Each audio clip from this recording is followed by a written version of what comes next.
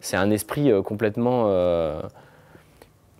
complètement incontrôlable en fait et on peut peut jamais s'attendre à ce qui va se passer. Chaque création de Stockhausen était un événement incroyable auquel se, rendaient tous les compositeurs, tous les créateurs, parce que on ne pouvait pas du tout s'attendre à ce que ça allait être. Stockhausen est comme un, explorateur, c'est-à-dire qu'il prend un, aspect de son langage, ça peut être l'électronique, le théâtre musical, la spatialisation du son, et à chaque fois il va prendre un paramètre.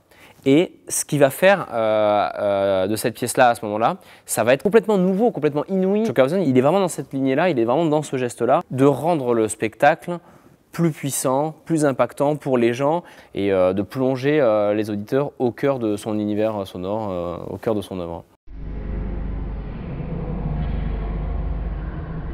Le personnage de Lucifer, il est à la fois une basse, euh, un tromboniste et un danseur. Stockhausen a associé à chacun de ces personnages soit des voix, soit des instruments. Les personnages ne sont pas juste joués par, euh, et incarnés par les chanteurs, ils sont aussi bien incarnés par des instrumentistes ou par des danseurs. C'est une espèce aussi d'hymne à ces instruments-là, avec les 26 basses qui sont euh, présentes, les 7 trombones qui sont là. Les chanteurs sont placés autour du public. On utilise les, les parois et les colonnes de la basilique pour changer le son. Parfois, les, euh, euh, les chanteurs euh, chantent face publique, parfois ils leur tournent le dos, parfois ils chantent dans les, dans les colonnes, tout près des dans les angles, pour, on entend le son qui, qui, monte comme ça et on utilise le, le vaisseau de la basilique comme caisse de résonance.